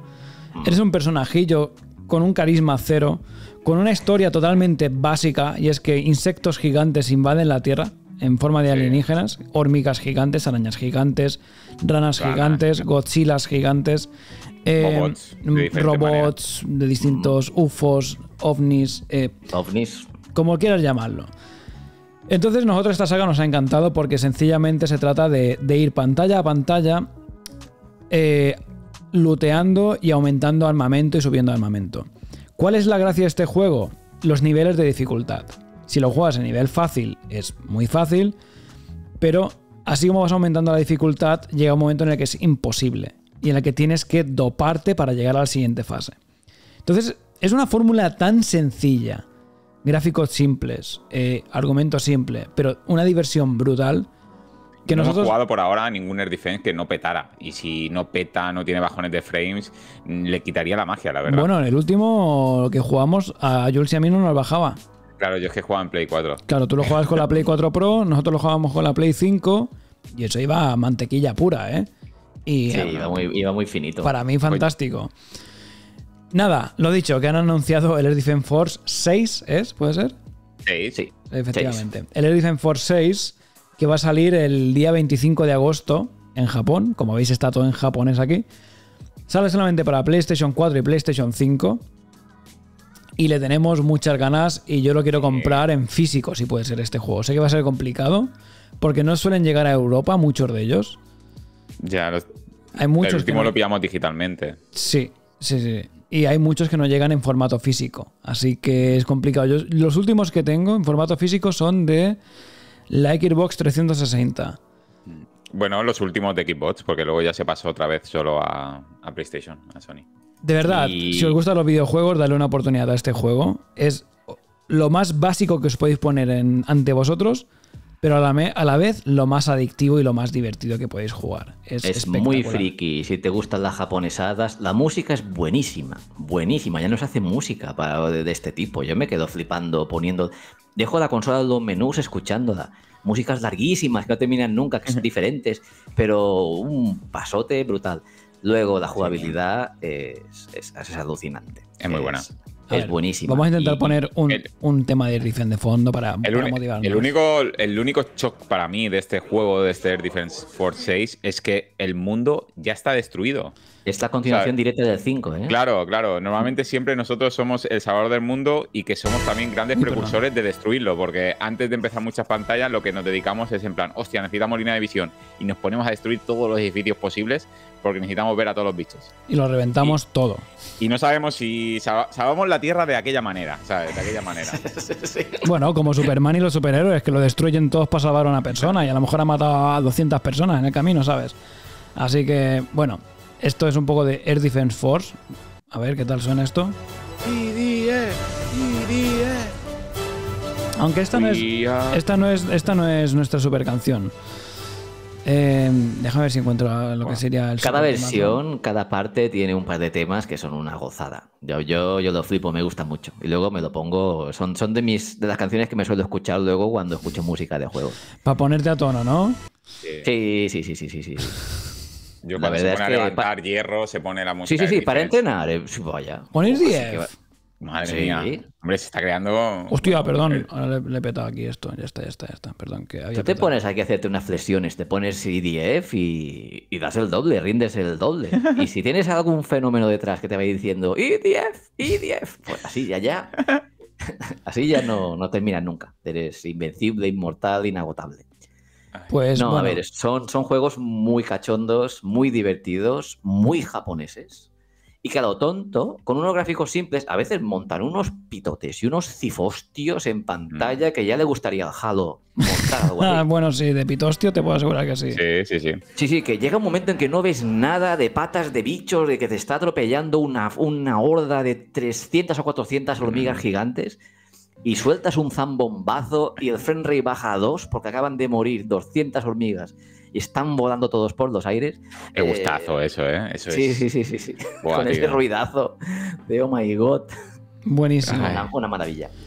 Sea como Nada, sea, chicos. Air Defense es, es un fetiche para nosotros. Un día hablaremos más de Air Defense, haciendo un gameplay en directo y hablaremos Es que un re- poquito del juego. realmente este juego nos ha dejado muy buenos ratos jugones. ¿Sabes? Sí, aquí pongo un muy poco de buenos ratos de videojuegos. del Air Defense, mientras hablamos de este juego. Por cierto, la versión japonesa se podrá ejecutar en versión en las plays de aquí.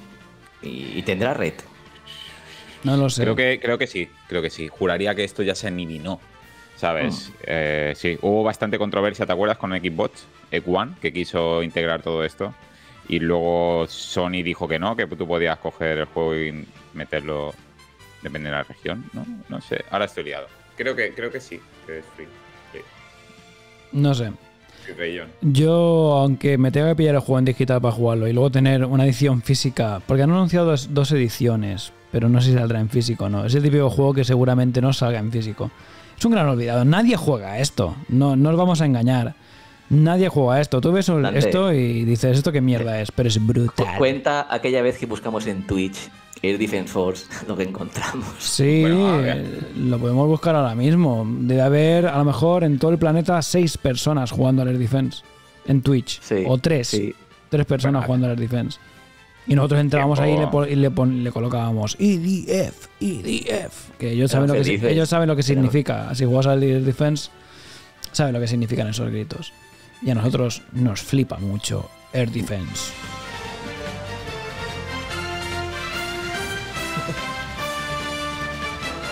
Qué grande que es Air Defense. Una pasada. ¿Te imaginas a Jules entrenando con esta música? Buah, tío, es que claro que me lo imagino.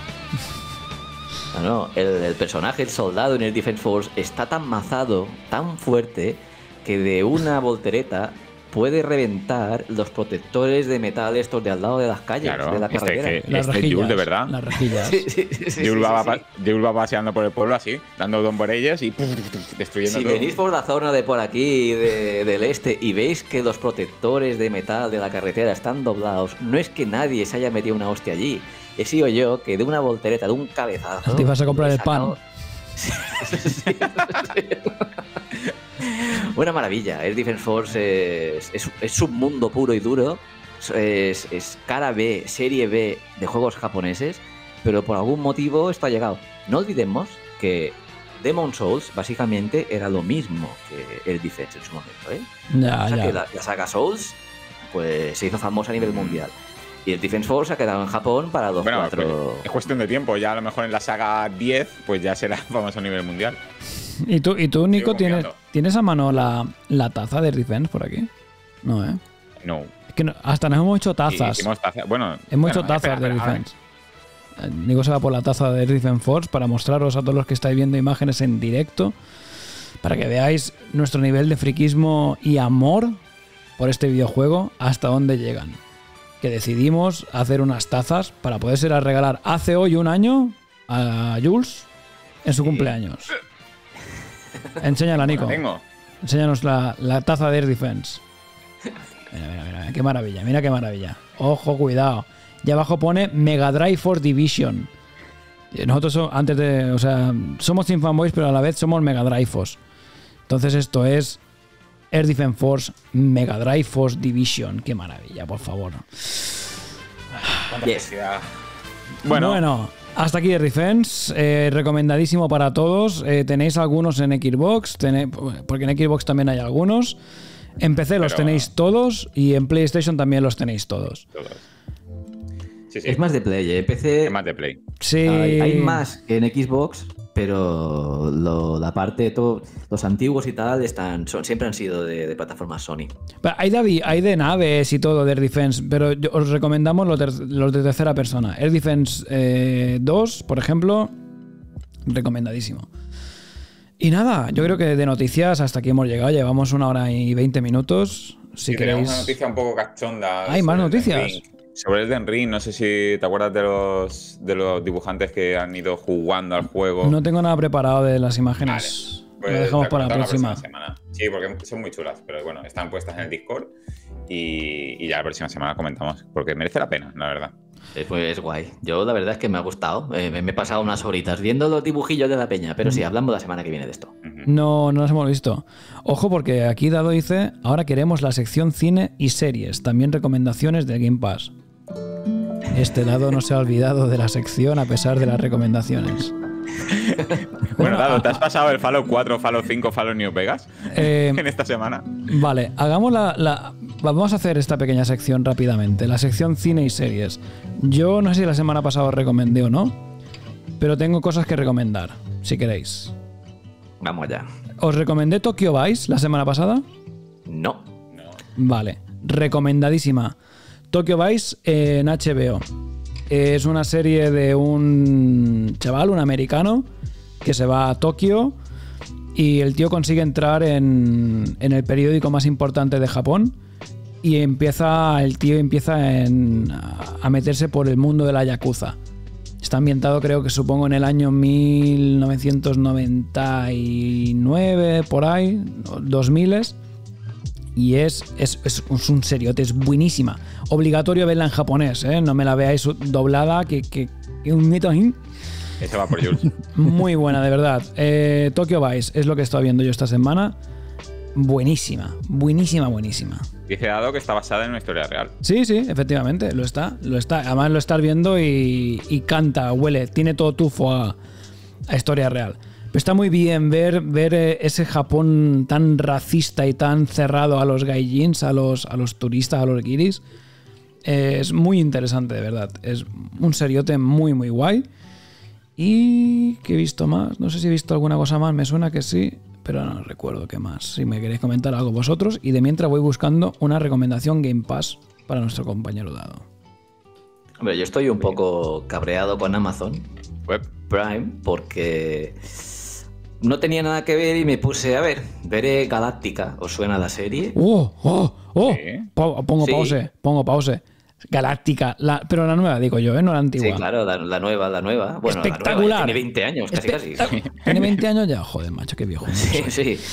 Y, y los puñeteros me la han quitado de la plataforma mientras Web. estaba viendo la serie. Pero dices, Es what mala, the mala pata, ¿eh? No. What the fuck? Pero Galáctica, ¿no crees, Jules, que vale la pena, tío, comprársela en físico?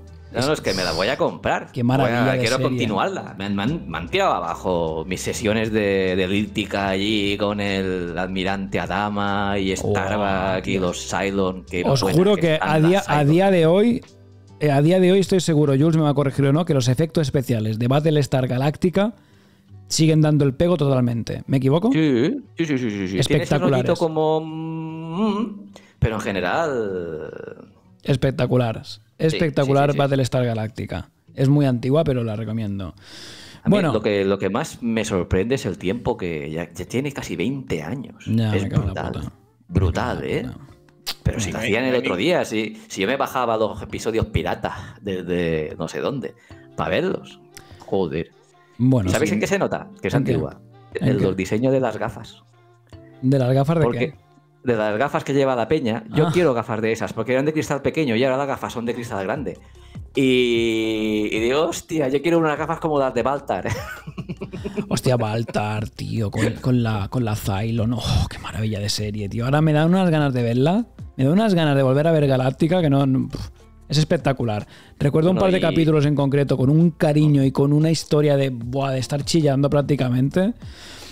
Buah, qué, qué gran recomendación, Jules. Sí, señor, Galáctica. La recomiendo a, a- a todo ser humano que esté escuchando el podcast ahora mismo. Y sé que, bueno, no se van a Por- arrepentir. No, no, la voy a pillar en físico a tomar por culo y la continuaré viendo. Yo. Dado nos también nos recomienda una serie también de Amazon Prime que se llama Outer Range, ¿ok? Yo esta la estoy viendo también. Ajá. El protagonista es el hermano mayor de los Goonies, ¿os acordáis? Hostia.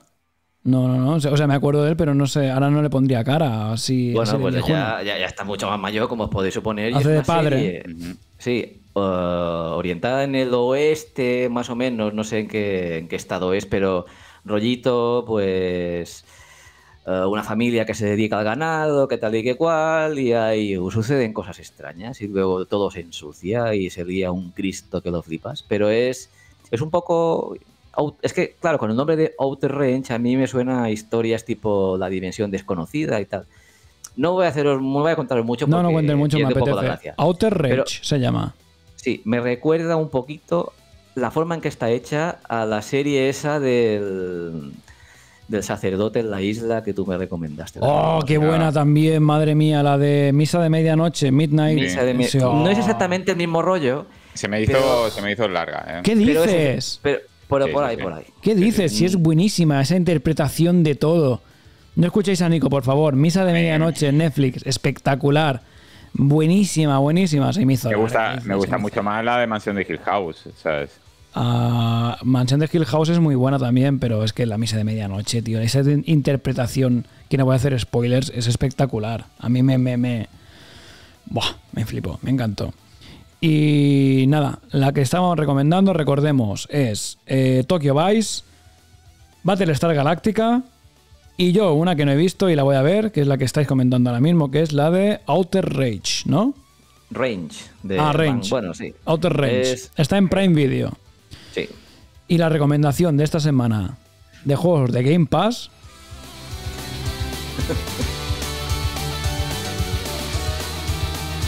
Creo que muy merecidamente esta semana puedo decir que la recomendación de juego para Game Pass, sin ningún tipo de duda,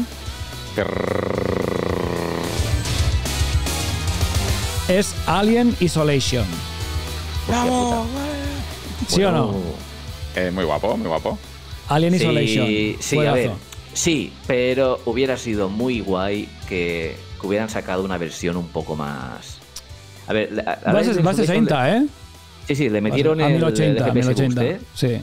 Va a 60, 1080, pero usa un Full Screen Anti-Aliasing un poco ya retro. De hecho, hubo mucha coña porque la versión que salió para, para Nintendo Switch usaba un anti-aliasing temporal moderno y se veía mejor la versión de Nintendo Switch, tócate dos. Mm.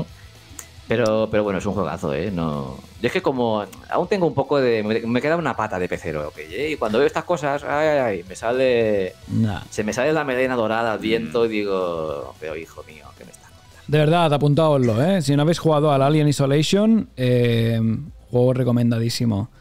Es lo más cercano a estar a dentro de Alien, formar parte de Alien, y después de las tres películas, eh, de, de las dos primeras películas originales de la serie Alien, tengo que decir que es lo más Alien que os puede poner en cara este juego. Es espectacular. El argumento es que eres la hija de, la- de- Ripley. de Ripley Sí.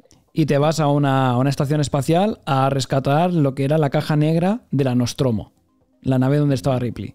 Entonces eres la hija de Ripley en busca de la, de la caja negra de, de la Nostromo. Y, y a partir de ahí, pues todo. Es espectacular, es un juego muy recomendado, muy, muy recomendado. Y ya está. Si queréis, podemos pasar a la siguiente sección. ¿A qué hemos jugado esta semana? Uf, Nico no ha jugado nada esta semana. Nico no ha jugado nada esta semana. Dante no ha jugado nada esta semana. Jules, ¿a qué has jugado esta semana? Pues yo he descubierto un juego que no es muy conocido, de una empresa que se llama From Software, no. a ver, he jugado un poquillo a Elden, porque... Yo también, yo también un poquito, pero lo- muy Eh, poco. Pero, No sí, pero al que he jugado más es al Lost in Random, que ya, ya no queda mucho. Ah, me ha sorprendido mucho este juego porque parecía una cosa y es otra. O sea, te lo comenté Dante otro día que nos vimos. Parece que es un juego de, de, de, sé, como no sé, de exploración y tal, y es más bien una aventura gráfica. Tiene un trocito en que vas hablando con la peña y vas dándole con el tirachinas a unos jarrones para conseguir monedas para comprar cartas, y luego siempre antes o después hay un momento de combate con, con las cartas y tal. Pero es un juego que es- parecía que era más grande y es una experiencia más pequeñita y más concentradita. ¿ok? Bueno. Ahora bien, es chulillo, es chulillo. Y luego también, ayer me compré el Rush, bueno, ayer, era antes, ya no lo sé, no lo sé, no me acuerdo. Me compré el Rush Legacy 2 que acaba de salir ahora en Xbox. Llevaba ya un, un año y pico en, en Early Access en PC. Y, hombre, el primero me gustó mucho. Es, es un juego de, bueno, es un Rush de toda la vida, de plataformas. La han mejorado un poquillo gráficamente, pero continúa siendo muy parecido. La gracia es que tú llevas un caballero, o llevas, bueno, en realidad es, es un problema de familia, ¿ok?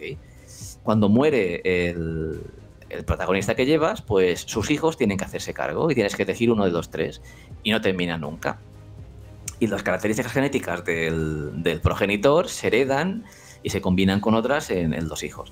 Y hay muchas historias raras. Te partes el culo de risa. Hay algunos que se tiran pedos, hay otros que no ven un pijo de lejos, otros pues son daltónicos, tienen características genéticas buenas y malas. Y a la hora de elegir el personaje que quieres usar tienes que tenerlo en cuenta. Pero bueno, es, es un juego de plataformas. ¿Ves? En la imagen se ve. Puede parecer un poquillo a Hollow Knight, pero en realidad es algo mucho más directo. Cada vez que entras en el castillo, el castillo ha cambiado las habitaciones, ¿ok? Y lo único que importa es el dinero que consigas. Si consigues terminar el juego, evidentemente terminas, pero si mueres, toda la pasta que has conseguido en esa run la puedes invertir en el castillo. Y en el castillo, pues las instalaciones nuevas, pues harán que la próxima generación o sea más fuerte, o sea más rápida, tenga características nuevas. Y bueno, es un jueguecillo que está bien, ¿eh? Bueno, Eh, tiene muy buena pinta. Yo estuve viendo unos gameplays ayer, por casualidad. O sea, y ha dado la casualidad que ayer estuve viendo gameplays y tú hoy has dicho que los has estado jugando. Y tiene muy buena pinta. Es un juego en 2D, como dice Jules. No, no vamos a decir que es como Hollow Knight, porque no es como Hollow Knight, ni mucho menos, ni, ni en gráfico, ni en estilo de juego, supongo. Pero yo lo estuve viendo y parece muy, muy divertido. Es un mata-mata muy, muy guay. Muy guay. Y nada, no. El primero estuvo muy bien. El primero también es cierto que venía de una época en que los indies acababan de despegar, ¿ok? No, no era como ahora que hay indies a tiplen. Era, era de los primeros. Y, pero bueno. Ah, muy buena. Mira, sabe- esto- este juego es el típico juego que confirma lo que hablamos muchas veces, que no, que los juegos indies son los que al final mm, depositaremos la confianza de que hagan las cosas bien con mimo y que nos y que nos satisfagan como jugadores. Sí, lo que dicen aquí en el chat, seguramente dado saldrá en Game Pass este juego. Yo creo que sí. Ahora bien, a mí me gusta comprar de vez en cuando alguno, ¿eh? especialmente si son juegos así que les tengo un poco de cariño. Y ya está. El que dice Dado es el Trek to Yomi. El Trek juego to este- Sí, Sí, el pero bueno, el, el Rogues Legacy 2 saldrá, ya lo veréis. Es de este tipo de juegos que se le ve un poco el plumero. Eh, Lo mismo un poco que cuando salió el, el Death's Door, se le notaba que saldría en Game Pass. Y luego al final ahí, estuvo. A ver, tengo en nuestra comunidad mm, un desafío para vosotros. Ojo. Ojo, ojo, Ojo Eso no nos lo has consultado, ¿eh? Ojo no nos lo has consultado, No. chicos. No, me, me echáis una mano porque estoy un poco cansado de este Eh, tema. nu- Nueva, estamos a punto de estrenar una nueva sección, el desafío de Jules. ¿Qué Bueno, no va a ser cada vez, ¿eh? ¿No? este es algo puntual, pero ya que os tengo ahí y que más que menos aquí hay mucho friki suelto. Atención pues, a la nueva categoría, a la nueva sección, el desafío de Jules. Para todos vosotros jugadores. de Jules. Ahí va. El desafío de Jules de hoy es. Ah, hace ya un mes que estoy intentando comprarme una silla gaming, señores. y no he tenido cojones de encontrar una que esté bien. Y Que vas a montar un crowdfunding. No, no, no, no, no, no, no. Que, que la comunidad me diga una que le gusta y me la compro a tomar Buah, culo. tienes a Luego Dado. hago un comentario. Dado es Pero your es man. Dado es your man here. Por cierto, Maese, bienvenido. Sí que llegas tarde, te perdonamos, pero tendrás que vernos luego por YouTube o por, eh, por Spotify. y no menos Patrice. He pillado alguna, pero luego me han cancelado de envío a mitad. No, no, una vez ya había pagado. eh, Sí, porque uno de los requisitos que tenemos. Sí, es tiene eso. que, tiene que enviar a Baleares y. A ver, todas las sillas gaming. Ahora te vas a cualquier página. Eh, las mejores sillas gaming de 2022. Y luego te vas a ver los comentarios a Amazon de ese modelo. Todo el mundo se caga en todo. Están unas. Unas que ahora no me acuerdo. Son famosillas. Y hay gente que dice que al cabo de medio año de estar ahí sentado, el eje principal cede y te raya el parquet. Es brutal. Y La mía tiene ya como 4 o 5 años y. Bueno, pero yo he de decir que a lo mejor mm, conociendo a Jules, vas a los comentarios de Amazon, habrá 500 comentarios positivos, habrá dos negativos de una estrella, que uno diga eso y Jules ya estará emparanoiado con eso. Cómo me gusta que Nico me conozca. claro Oye, que sí, Nico. claro que sí. Y claro también que sé sí. que te gusta tener muchos minions. No te basta con Dante y conmigo que ahora quieres hacer formarte un ejército de minions con, Sí. con nuestros oyentes. ¿Cómo le gustan los minions a Jules? ¿Cómo A le gusta ver, tener esto, minions? esto es como un, un- esto, un proyecto de computación distribuida. Venga, a, a pensar. Qué fenómeno. Eh, una cosa, antes que se me olvide, que claro, antes de acabar el programa, tenía que decir lo del club de lectura. Sí. Hostia. Vale. La semana pasada, si lo tuviese preparado, eh, sur- surgió que resulta que Chuchipapi, uno de nuestros oyentes, había creado un club de lectura. Entonces yo le pregunté datos y me explicaron un poco y yo le puse el nombre incluso. eh, El Club de Lectura de los Miserables. Lo puse a parir en el. Bueno, sí, dije qué tal, dije a mí no me metáis, no contéis conmigo, etcétera, etcétera. Pero bueno, se ve que mi idioma es distinto al que Chuchipapi habla y no comprendió lo que yo decía y por sorpresa mía me agregaron en, en un club de lectura. Bueno, un club de lectura no, en un grupo de WhatsApp, cosa que yo normalmente me salgo rápido, ¿eh? Nico lo sabe, que a mí me meten en un grupo y yo me salgo rápido de ahí, no, no hay piedad. Entonces me metieron en un grupo de lectura y digo, ¿y esto, esto qué es? Y veo Los Miserables. Entonces, no sé, en, cierto modo vi que era una creación mía, una, una abominación indeseada y decidí darle una oportunidad. Y se ha creado un club de lectura. Y bueno, y hemos empezado a leer. Una de las causas por las que tampoco he jugado esta semana es porque cuando tenía un ratillo, pues intentaba leer el primer libro que han propuesto, que es abominablemente aburrido y aburridillo. Estoy esperando a que llegue el momento en el que lleguen los alienígenas en el libro y pase algo nuevo. El, el libro es, está escrito por un premio Nobel, la polla en vinagre, buenísimo y tal, y es El Lobo Estepario. El Lobo Estepario, ¿no? Nico? Sí, el Lobo así es. Estepario. De Germán Gesell. Eh, Hermann Hesse. Es un alemán, no sé de qué año debe ser, supongo que está ambientado en el mil no- 1950 y pico, yo que sé cuándo debe estar. En fin, eso, que me he metido en un club de lectura y ya os, os recomendaremos o no os recomendaremos el, el libro cuando, cuando terminemos. Pero bueno, nada, era una curiosidad solamente para que, porque dado me ha puesto aquí que coño, Dante no juega nada, antes molabas, sí, antes molaba, ahora leo libros de mierda. Así que Bueno, para darle un último toque al programa y salir así con un poco de alegría. eso es, dale alegría, hombre, cosilla- claro que sí. Una cosilla que hoy mi, mi sobrino me comentaba, que me dice, eh, ¿por qué no podemos comprar una Play 5? Estoy harto de tener una Play 4, mis amigos tienen Play 5.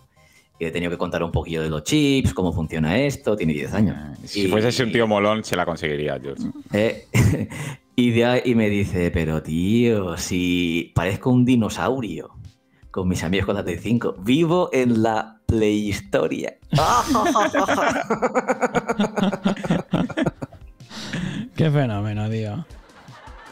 o sea que, chicos, Y tú cogiste y le diste tu Play 5, ¿no? Hostia, pues se lo había pasado por la cabeza, pero ahora con el VRR yo quiero verlo esto, quiero verlo, quiero verlo, Nico. Hay que verlo, hay que verlo. Bueno, O sea que chicos, cada vez que tengamos un problema con la, con la Play, que no hay chips y qué tal y qué cual, No hablamos de la olvidemos. Playhistoria. que estamos en la Play Historia. Qué grande el, el sobrino de Jules. Qué inventor que es. Bueno, llevamos más de una hora y media. Lo sentimos mucho por daros el coñazo tanto. Los que estáis en el chat, ni se os ocurra iros. Vamos a hacer una raid a alguien. Vamos a ver a quién tenemos por aquí. Nico, por favor, recuérdanos nuestras redes sociales antes de despedirnos. Por supuesto, estamos en Instagram, Facebook, Twitter. eh, tenemos TikTok también, chicos. O sea, estamos, estamos en la moda de la gente, ¿sabes? Ponemos unos reels súper cachondos. Y, y nada, también tenemos el grupo de Discord que os podéis agregar también en Sin Fanboy, donde no os perdáis las ofertas de dado, los chollos de dado. Y ya está, nada más. Pues nada, los que nos estáis escuchando online, eh, online no, perdón, los que nos estáis escuchando por Spotify o YouTube, eh, nos vemos la semana que viene. Abrazote. Hasta luego. Adiós. Brr. Brr.